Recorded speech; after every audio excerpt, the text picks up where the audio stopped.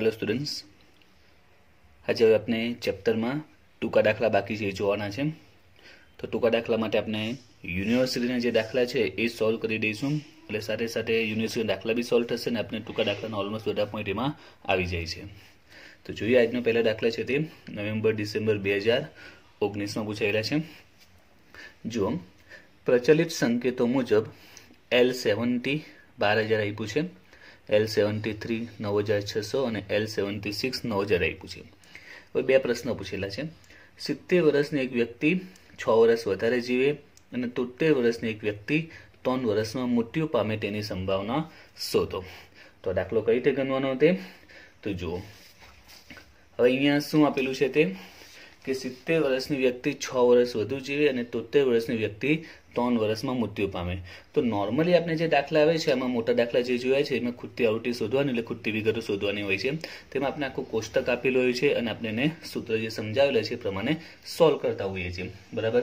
પરંતુ આ દાખલો આખો ડિફરન્ટ છે, અલગ પડી જાય છે અને યુનિવર્સિટી મારી તો દાખલો ઘણીવાર પૂછાયો છે. જેમ કે લાસ્ટ યરમાં પૂછાયો છે એના પહેલાં પણ ઘણી વખત આ રીતના દાખલા પૂછાઈ ગયા છે. તો આમાં મેન તમારે સૂત્ર કઈ રીતે બને તે સમજવાનું છે. જે રીતે પેલી ખૂટતી વિગતોમાં સૂત્ર તમને સમજાવેલા, એ બરાબર મોટા દાખલામાં આવશે નાના દાખલામાં પણ આવશે પણ આખું ડિફરન્ટ પડે છે. તો જો આ કઈ રીતે આપણે શોધવાનું તે સમજાવું છું. માની લો કે ક્વેશ્ચનમાં એવું આપેલું હોય. હું બીજા પોઈન્ટ સમજાવું છું એટલે આ ખબર પડી જશે કે એક સોરી સિક્સટી યરની સાઠ વર્ષની વ્યક્તિ છે. બરાબર છે? તે દસ વર્ષ વધારે જીવે.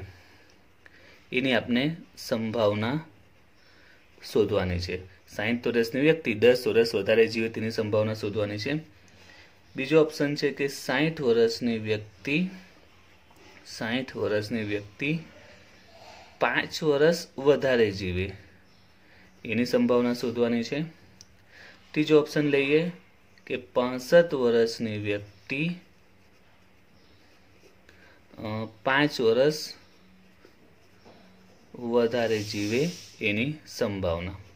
ઓકે ત્રણેયમાં એક સરખો પોઈન્ટ લીધો છે કે આટલા વર્ષની વ્યક્તિ આટલા વર્ષ જીવે એની સંભાવના શોધો. તો કઈ રીતે શોધાશે? તો જો, સંભાવના માટે જીવે એની સંભાવના, બરાબર છે? વધારે જીવે એની સંભાવના, તો જીવે એની સંભાવના પ્રોબેબિલિટીને આપણે પી કહીશું. અને કેટલા વર્ષની વ્યક્તિની વાત કરે છે? સાહીઠ વર્ષની વ્યક્તિની અહીંયા વાત કરે છે. પી સિક્સટી સૌથી પહેલાં સંકેત શું બને તે સમજી લો.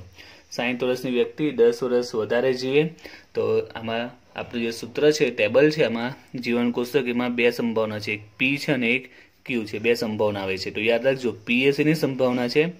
વ્યક્તિ જીવે તેની સંભાવના છે ને ક્યુ એ વ્યક્તિ મૃત્યુ પામે તેની સંભાવના છે. આપણું જે લાઈફ ટેબલ છે જીવન કોષ્ટક છે, એ કોષ્ટકમાં પી ને ક્યુ બંને આવે છે. બરાબર છે? આખું જે આખું કોષ્ટક છે એક્સ છે એલ ક્યુ પી બરાબર છે? તો આ કોષ્ટકમાં સોરી ડી પૈ ક્યુ પી અને લાસ્ટમાં એલ અને ટી તો આ કોષ્ટકમાં જે ક્યુ અને પી આવે છે તે ક્યુ એ શેની સંભાવના છે? મૃત્યુ પામે તેની સંભાવના અને પી એ વ્યક્તિ જીવતો રહે તેની સંભાવના. તો અહીંયા સાહીઠ વર્ષની વ્યક્તિ જીવતો રહે એટલે કે પી સિક્સટી ઇન્સર્ટ શોધવાનું છે. અહીંયા પણ સાહીઠ વર્ષની વ્યક્તિ પછી કેટલા વર્ષ જીવે અલગ છે? આપણે પહેલાં સંકેતની વાત કરીએ કે વ્યક્તિ કેટલા વર્ષની છે? સાહીઠ વર્ષની એ પણ જીવે એનું આપેલું છે. એટલે પણ પી સિક્સટી બનશે. હવે અહીંયા પાસઠ વર્ષની વ્યક્તિ છે, એ પણ જીવે એની સંભાવના આપેલી. પાસઠ વર્ષની વ્યક્તિ જીવે એટલે પી અને પાસઠ વર્ષની છે એટલે સિક્સટી ફાઈવ ક્લિયર તો સૌથી પહેલાં સંકેત કઈ રીતે બનશે તે યાદ રાખવાનો છે. ઓકે હવે એનું સૂત્ર શું બનશે તે? તો સાહીઠ વર્ષની વ્યક્તિ દસ વર્ષ જીવે છે. તો સૌથી પહેલાં સૂત્રમાં ફિક્સ જેટલા વર્ષની વ્યક્તિ છે, કેટલા વર્ષની વ્યક્તિ છે અહીંયા? સાહીઠ વર્ષની વ્યક્તિ છે, એટલે પી સિક્સટી તો છેદમાં આપણે સીધું એલ સિક્સટી લખી દેવાનું. અહીંયા પણ કેટલા વર્ષની વ્યક્તિ છે? સાહીઠ વર્ષની છે, એટલે છેદમાં એલ સિક્સટી લખી દઈશું. અહીંયા કેટલા વર્ષની વ્યક્તિ છે? પાસઠ વર્ષની વ્યક્તિ છે, તો છેદમાં શું આવશે? એલ સિક્સટી ફાઈવ આવશે. આવી ગયો છેદમાં શું આવશે તે, તો છેદમાં આપણે એલનો યુઝ કરીશું. બરાબર છે? અને એલ કયો લેવાનો તે, તો સાહીઠ વર્ષની વ્યક્તિ છે, એટલે સાહીઠ અહીંયા પણ સાહીઠની છે તો સાહીઠ અહીંયા પાસઠની છે તો પાસઠ. હવે અંશમાં શું આવશે? અંશમાં પણ એલ જ આવશે. પણ કયો એલ તો સાહીઠ વર્ષની વ્યક્તિ દસ વર્ષ વધારે જીવે, તો સાહીઠમાં તમારે દસ એડ કરવાના, એટલે કેટલા આવે? સિત્તેર. એટલે અંશમાં આવશે એલ સિત્તેર.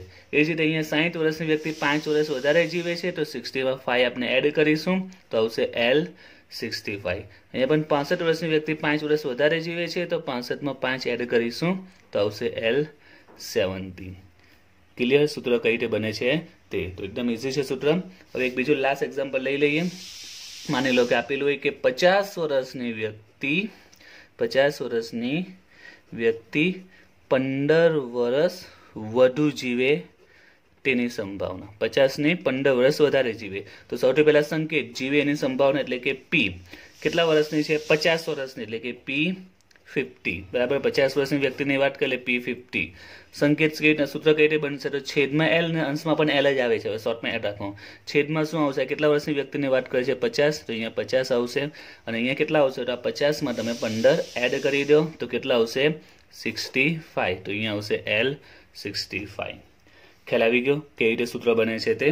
તો આ વ્યક્તિ જીવે એની સંભાવના તમારે આ રીતે શોધવાની. હવે જો દાખલામાં પૂછેલું કે વ્યક્તિ મૃત્યુ પામે એની સંભાવના. તો આપને ખબર છે પી અને ક્યુનો રિલેશન ખબર છે. જો આપને પી ખબર હોય કે પી ઝીરો પોઈન્ટ આઠ છે, તો ક્યુ કેટલો આવશે? ઝીરો પોઈન્ટ બે. એટલે જો દાખલામાં મૃત્યુ પામેની સંભાવના પૂછેલી હોય તો બી તમારે જીવ એની સંભાવના શોધી નાખવાની. હવે જીવ એની સંભાવના મળી જાય તો મૃત્યુની મળી જશે ને એકમાંથી આપણે માઇનસ કરી દઈશું. ક્લિયર એટલે મૃત્યુ પામવાની સંભાવના શોધવા માટે પણ તમે જીવ એની સંભાવના શોધી કરો ને એકમાંથી માઇનસ કરી દો. તો હવે આ દાખલો જોઈએ. હવે આમાં વધારે સમજાવવાની જરૂર નહીં પડશે. તો આન્સર વન પહેલો આન્સર આપણે કરીએ કે સિત્તેર વર્ષની વ્યક્તિ છ વર્ષ વધારે જીવે. ઓકે તો સંકેત શું બનશે? કયા વર્ષની કયા વ્યક્તિની વાત કરે છે? સિત્તેર વર્ષના. એટલે કે પી સિત્તેર. બરાબર? હવે છેદમાં તો ફિક્સમાં આવી જશે. એલ કેટલા આવશે? સિત્તેર. અને અંશમાં સિત્તેર વર્ષની વ્યક્તિ છ વર્ષ જીવે છે. સિત્તેરની છ વર્ષ. તો સિત્તેર ને છ છોતેર આવી જશે. ઓકે હવે વેલ્યુ મૂકી દઈએ. એલ છોતેર આપેલું છે નવ હજાર અને એલ સિત્તેર આપેલું છે બાર હજાર. તો નવ હજાર ભાગ્યા બાર હજાર કરીશું, એટલે જવાબ આવશે ઝીરો પોઈન્ટ પંચોતેર. તો સિમ્પલ દાખલો છે. બે માર્ક્સ છે. મફતના બે માર્ક્સ તમને મળી જાય. હવે બીજો ક્વેશ્ચન બીજામાં શું પૂછેલું કે તોતેર વર્ષની વ્યક્તિ ત્રણ વર્ષમાં મૃત્યુ પામે. હવે અહીંયા મૃત્યુ પામે ને પૂછેલું છે, તો પણ તમારે જીવે એની સંભાવના શોધવાની. એમને કીધું તે જીવે એની મળી જાય, તો મૃત્યુની ખબર પડી જાય. તો તમારે ફક્ત સૌથી પહેલાં શેની સંભાવના વ્યક્તિ જીવતો રહે તેની સંભાવના સૌથી પહેલાં આપણે શોધીશું. બરાબર? વ્યક્તિ કેવું રહે? જીવતો રહે તેની સંભાવના. તો અહીંયા એમ માનો કે અહીંયા જીવે એની સંભાવના શોધવાની છે, એમ સમજીને ચાલો. અહીંયા શું આપેલું છે? વ્યક્તિ જીવે તે. એટલે હમણાં ઉપરનો દાખલો ગણ્યો એ પ્રમાણે ગણીશું. કયા વર્ષના વ્યક્તિની છે? તોટ્ટે વર્ષનું, એટલે કે પી તોટ્ટે હવે છેદમાં તો શું આવશે? તો આ તોટ્ટેર વર્ષની વ્યક્તિ છે, એટલે છેદમાં એલ તોટ્ટેર અને અંશમાં બંનેનો ટોટલ. તોતેર ને ત્રણ છોતેર ઓકે?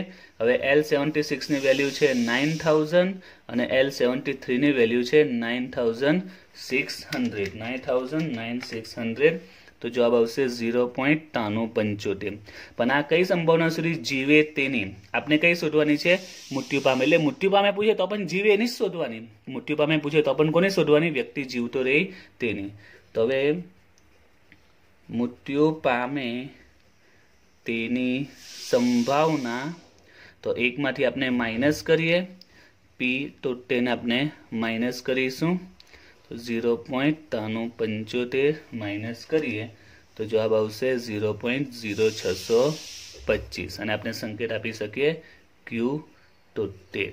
તો આ રીતે દાખલો ઘણીવાર યુનિવર્સિટીમાં પૂછાયો છે. ઓકે? હવે જોયા બીજો દાખલો જે બી નવેમ્બર, ડિસેમ્બર પૂછાયો છે. એક શહેરમાં નવા જન્મેલા બાળકોની સંખ્યા આઠ હજાર સાતસો પચાસ છે. જન્મેલા બાળકો આપ્યા છે આઠ હજાર સાતસો પચાસ. શહેર કાચો જન્મદર પચીસ છે ને કુલ વસ્તી સુદ. તો દાખલામાં શું આપેલો છે? કાચો જન્મદર આપેલો છે. તો જ્યારે આ રીતના દાખલા હોય તો જેને લગતી વિગત આપેલી હોય, એટલે જન્મદર છે પ્રજનન દર છે, બરાબર છે, તમારે એનું સૂત્ર પહેલા મૂકી જ દેવાનું, કારણ કે એમાંથી જ કંઈ ને કંઈ ક્લુ મળી જ જશે. કાચો જન્મદર આપેલો છે એટલે કે સીબીઆર જેને કહેવાય છે. બરાબર? શોર્ટમાં બી યાદ રાખજો ઇંગ્લિશમાં. તેનું સૂત્ર શું છે? જન્મેલા બાળકો છેદમાં કુલ વસ્તી ગુણ્યા હજાર. તો કાચો જન્મદર એટલે કે સીબીઆર આપેલો છે પચીસ. જન્મેલા બાળકો, તો જન્મેલા બાળકો દાખલામાં આપેલા છે આઠ હજાર સાતસો પચાસ. છેદમાં કુલ વસ્તી જે આપણે શોધવાની છે, ગુણ્યા હજાર. તો કુલ વસ્તી ભાગાકારમાં એને સામે લાવી લઈએ અને પચીસ ગુણાકારમાં છેદમાં આવી જશે. તો કુલ વસ્તી બરાબર આઠ હજાર સાતસો પચાસના છેદમાં પચીસ ગુણ્યા હજાર પચીસ આ બાજુ નીચે આવી જશે. તો આઠ હજાર સાતસો પચાસ છેદમાં પચીસ ગુણ્યા હજાર કરો તો કેટલા આવશે? ત્રણ લાખ ને પચાસ હજાર. તો આવશે એની કુલ વસ્તી. ઓકે? ત્યાર પછી જોઈએ આગળ આ નવેમ્બર, ડિસેમ્બર બે હજાર ઓગણીસનો દાખલો છે તે. તો આપણે થોડી વાર રહીને જોઈએ દાખલો, કારણ કે બીજા પણ દાખલા છે. કોષ્ટકવાળા બધા કોષ્ટકવાળા દાખલા આપણે સાથે લઈ લઈશું. તો રકમ લખી દીધી એટલે તમારી સામે છે આપણે પછી સોલ્વ કરીશું. બીજા જે દાખલા છે આપણે સોલ્વ કરીએ. પછી આ કોષ્ટકવાળા દાખલા અહીંયા છે, બધા આપણે સાથે સોલ્વ કરીશું. ત્રણે દાખલા. બીજા બે કોષ્ટકવાળા દાખલા છે. હવે આ બે દાખલા પહેલાં સોલ્વ કરીએ, પછી આપણે કોષ્ટકવાળા કરીશું.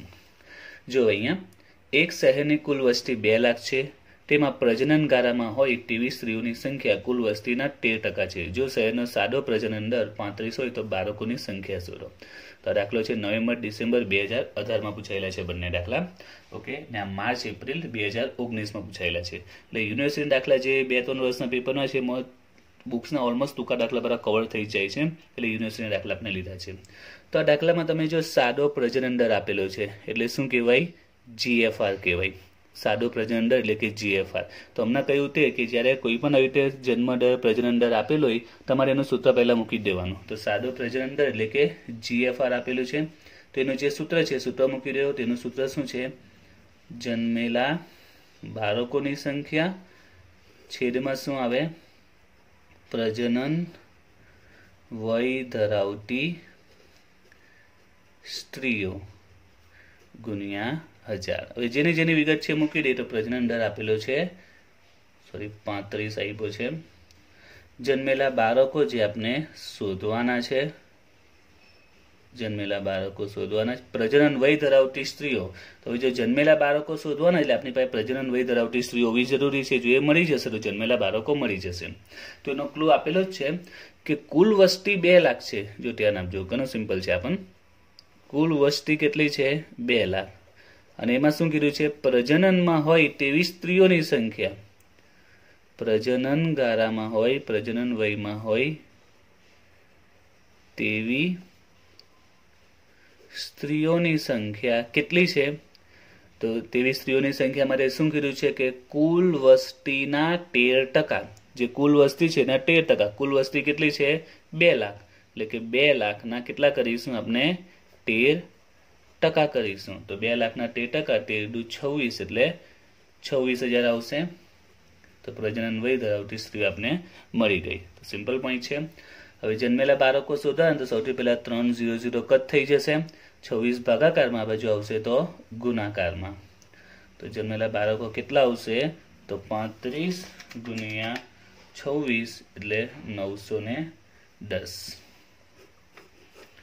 એ જ રીતે આ બીજો દાખલો જોઈએ. માર્ચ, એપ્રિલ બે હજાર ઓગણીસમાં પૂછાયેલો છે. એમાં પણ જન્મેલા બાળકો શોધવાનું છે. ઓકે અને દાખલામાં પણ તમે જો તો સાદો પ્રજનન દર એટલે કે જીએફઆર આપી દીધેલો છે. તેમાં પણ પહેલાં સૂત્ર મૂકી દઈએ. જીએફઆરનું જન્મેલા બાળકો છેદમાં પ્રજનન વય ધરાવતી સ્ત્રીઓ. તો આ દાખલો બી સેમ ટુ સેમ એના જેવો છે. એમાં પણ જીએફઆર આપ્યું છે પિસ્તાલીસ. જન્મેલા બાળકો આપી દીધેલા છે. સોરી જન્મેલા બાળકો શોધવાના છે આ દાખલામાં. અને જેમ હવે છેદમાં પ્રજનન વય ધરાવતી સ્ત્રીઓ. તો આમાં પણ આપણે પ્રજનન વય ધરાવતી સ્ત્રીઓની સંખ્યા હોવી જોઈએ, કારણ કે જન્મેલા બાળકો તો આપણે શોધવાના છે. તો પ્રજનન વય ધરાવતી સ્ત્રીઓ જોઈએ. તો એનો પણ અહીંયા ક્લુ આપેલો છે, જો કે પ્રજનન વય ધરાવતી સ્ત્રીઓ કુલ સ્ત્રીના પાસઠ ટકા છે. બંને પોઈન્ટમાં ધ્યાન આપજો. અહીંયા શું લખ્યું હતું કે કુલ વસ્તીના તેર ટકા, એટલે કુલ વસ્તી બે લાખ હતી, આપી દીધેલી, એના તેર ટકા કર્યા. જ્યારે અહીંયા શું આપેલું છે, જે કુલ સ્ત્રીઓ છે, એના પાસઠ ટકા. એટલે સૌથી પહેલા આપણી પાસે શું જોઈએ? ટોટલ સ્ત્રીઓ કેટલી છે આપણે ખબર હોવી જોઈએ. બસ કુલ સ્ત્રીઓ મળી જશે અને આપણે સિક્સટી ફાઈવ પર્સન્ટ કરીશું, એટલે ખ્યાલ આવી જશે. તો એના માટે હવે કુલ સ્ત્રી કઈ રીતે મળશે? તો એના માટે જો કે એક શહેરની વસ્તી ત્રણ પચાસ છે. આ શહેરમાં દર હજાર પુરુષો આઠસો નેવું સ્ત્રીઓ છે. તો જો કુલ વસ્તી છે ત્રણ પચાસ અને દર હજાર પુરુષો આઠસો નેવું સ્ત્રીઓ છે. કુલ વસ્તી છે ત્રણ પચાસ અને દર હજાર પુરુષો આઠસો નેવું સ્ત્રીઓ છે. તો આના પરથી આપણે સ્ત્રીઓ મળી જાય. જો કુલ વસ્તી કેટલી છે? ત્રણ લાખ પચાસ હજાર. બરાબર? અને દર હજાર પુરુષો હોય આઠસો નેવું સ્ત્રીઓ છે. તો એમ એક રેશિયો બની ગયો. જો પુરુષો અને સ્ત્રીનો રેશિયો બની ગયો. પુરુષો કેટલા છે? હજાર. અને સ્ત્રીઓ કેટલી છે? આઠસો નેવું. અને વસ્તીમાં કોણ આવે? પુરુષ અને સ્ત્રી જ આવે. એટલે એને આપણે સ્ત્રીની જો સંખ્યા શોધવી હોય તો આપણે કીધું ને પેલું નફો નુકસાન વેચીએ છીએ? બસ એ રીતે વિચારો કે સ્ત્રીની સંખ્યા શોધવી હોય તો કુલ વસ્તી છે ત્રણ પચાસ. એમાં સ્ત્રીઓ કેટલી છે? આઠસો નેવું. ને ટોટલ પુરુષો હજાર. એટલે ટોટલ એક હજાર આઠસો ને નેવું. એટલે નફો નુકસાન કઈ રીતે વેચે જેમ કે ત્રણ પચાસ ને ત્રણ જેમ બે માં વેચવાના. બસ એ રીતે તમારે કરવાનું છે.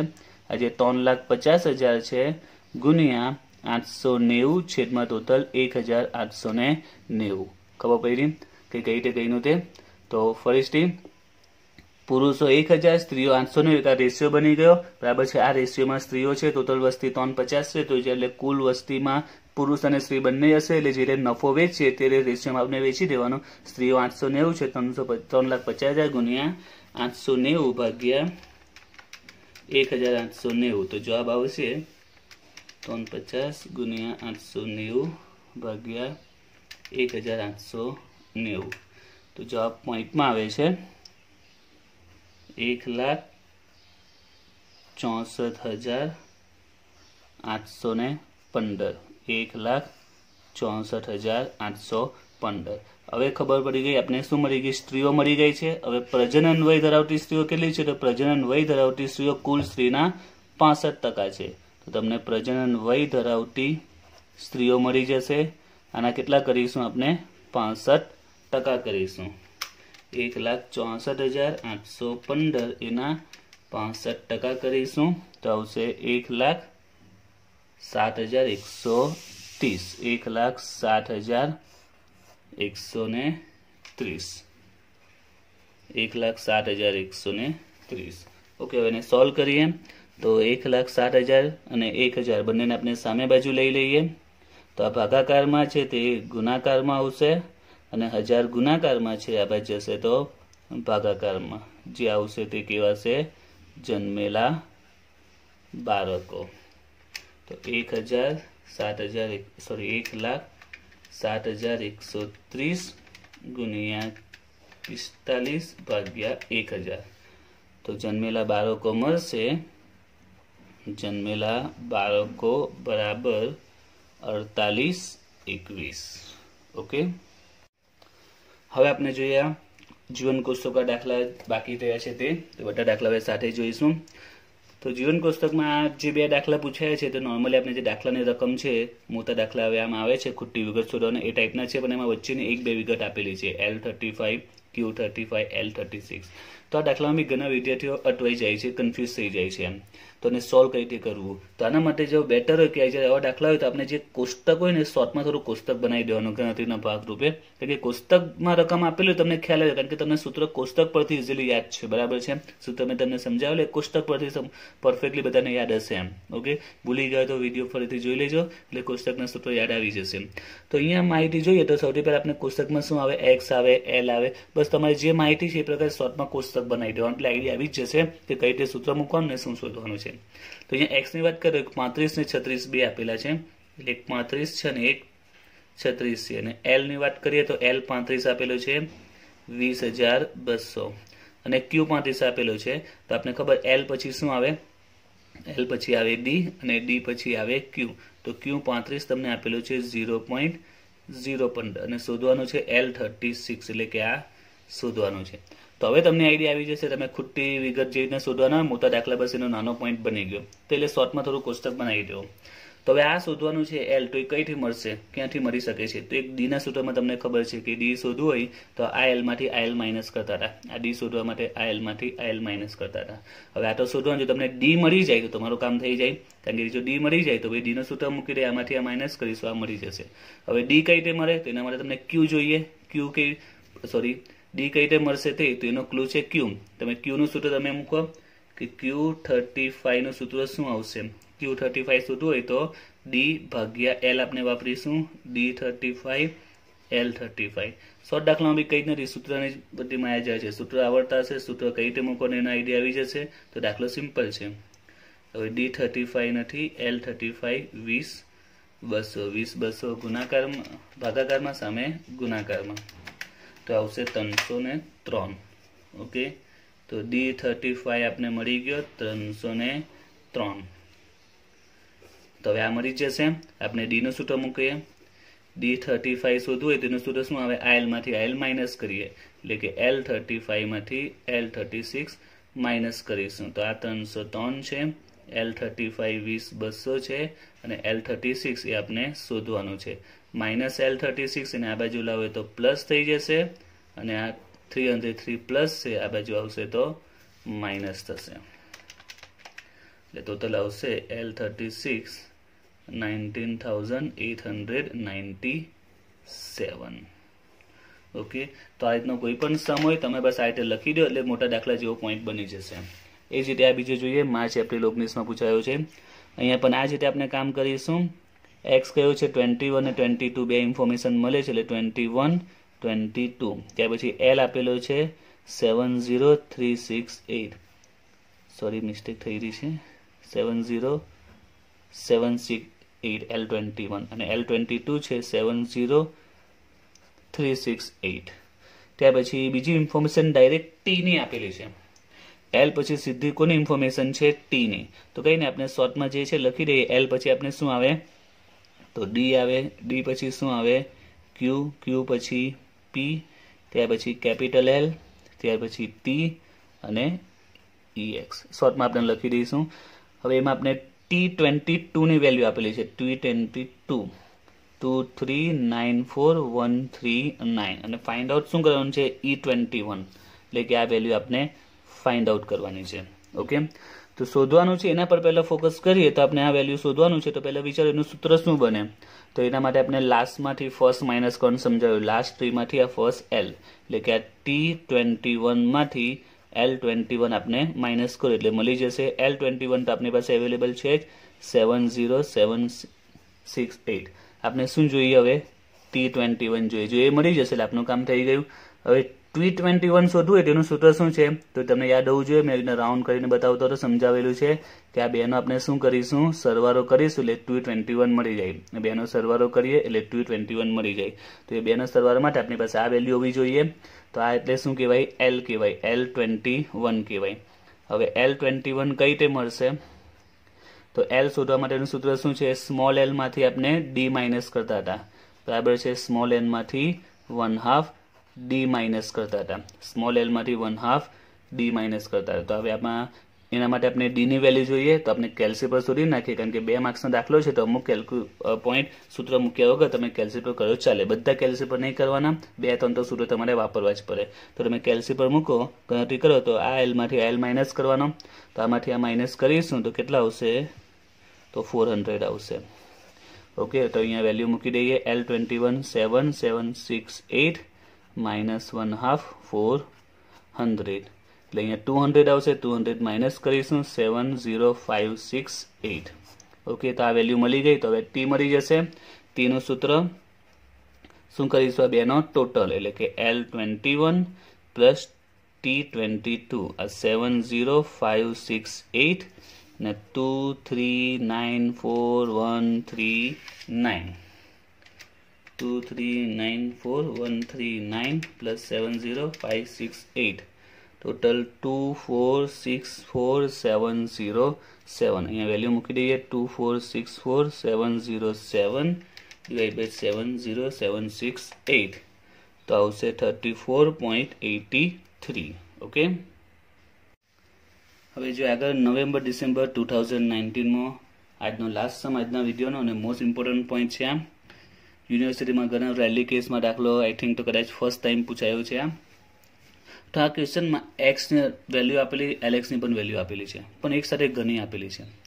તો કોષ્ટક પહેલાં તો આરું આપેલું તો આપણે પહેલાં સીધું કોષ્ટક બનાવીએ. એટલે કે ઊભું જે કોષ્ટક નોર્મલી આપણે જે દાખલામાં ગણે છે એક્સ અને એલેક્સ જે નોર્મલી આવે તે. બરાબર છે? તો એ સ્વરૂપે કોષ્ટક આપણે રજૂ કરીએ.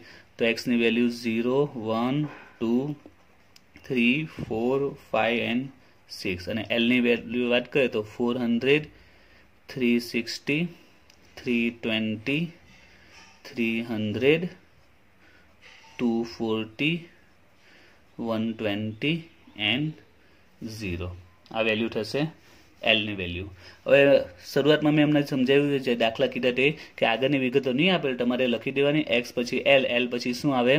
તો એલ પછી આપણે આવશે ડી આવશે.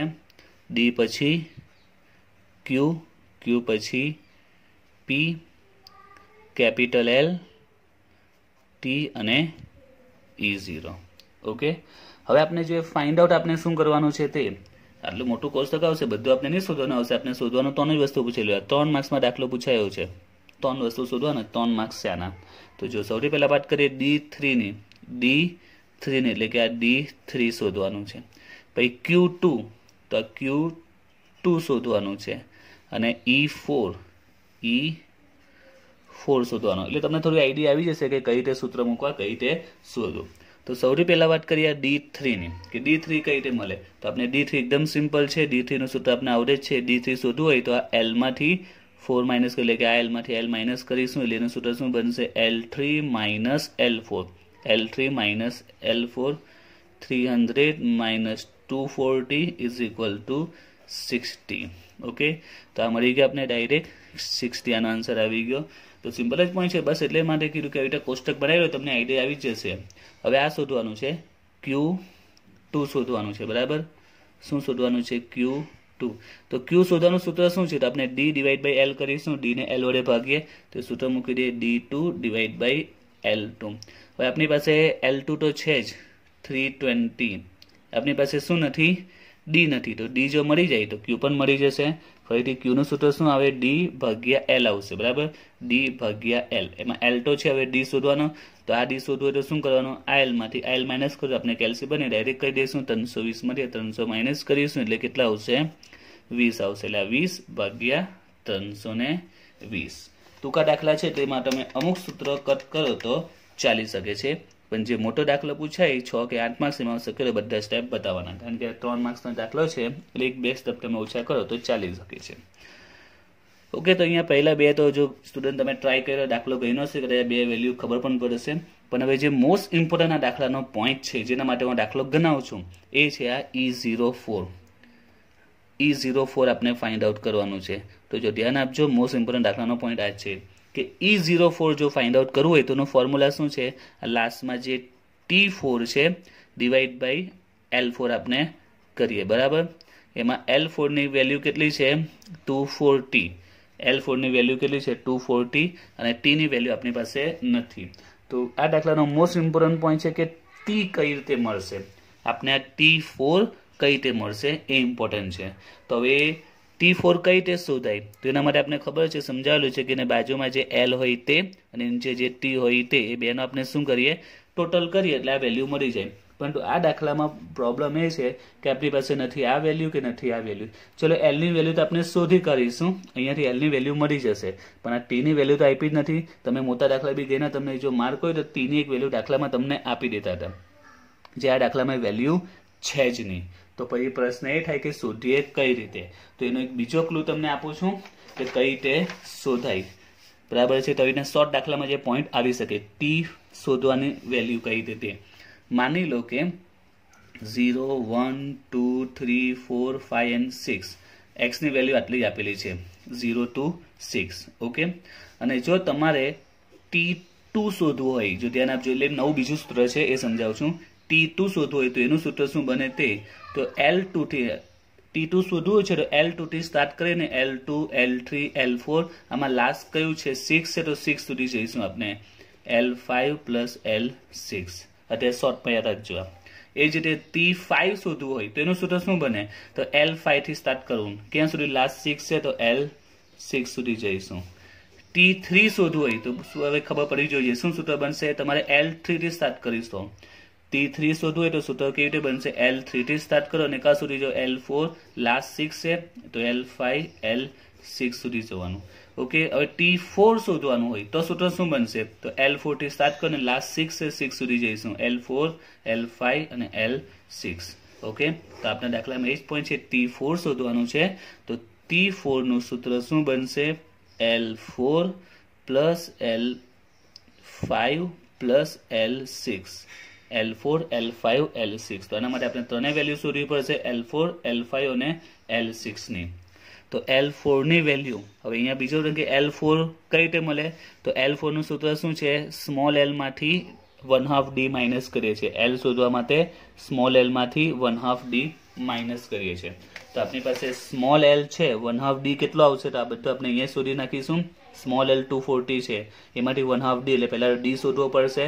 તો અહીંયા ડી શોધો તો કેટલો આવે? ટુ ફોર્ટીમાંથી વન ટ્વેન્ટી આપણે માઇનસ કરીએ તો વન ટ્વેન્ટી આવશે. એ આ ડી પણ શોધી કરીએ વન ટ્વેન્ટી એકસો વીસમાંથી ઝીરો માઇનસ કરીશું. એકસો વીસમાંથી ઝીરો માઇનસ કરીશું. તો કેટલા આવશે? એકસો વીસ. હવે અહીંયા ઝીરોમાંથી નીચે કોઈ સંખ્યા જ નથી. તો આપણે ડાયરેક્ટ ઝીરો લખી દઈશું. ઓકે તો આ ડી શોધી નાખ્યું. હવે આપણે એલ મળી જશે. તો જો આપણે એલ ફોર શોધવું હોય. તો એલ ફોરનું સૂત્ર શું આવે? Small L four minus one half D four તો એલ ફોર આપનો ટુ ફોર્ટી ડી ફોર છે વન ટ્વેન્ટી એટલે કે અહીંયા સાહીઠ આવશે માઇનસ કરીશું તો એકસો ને એંસી. એ જ રીતે એલ ફાઈવનું સૂત્ર. L four minus one half sorry L D L five minus one half D five L ફાઈવની value one twenty minus one half one twenty છે બંને. એટલે આમાં one twenty minus sixty is equal to sixty okay તો આપણે એલની value મળી ગઈ.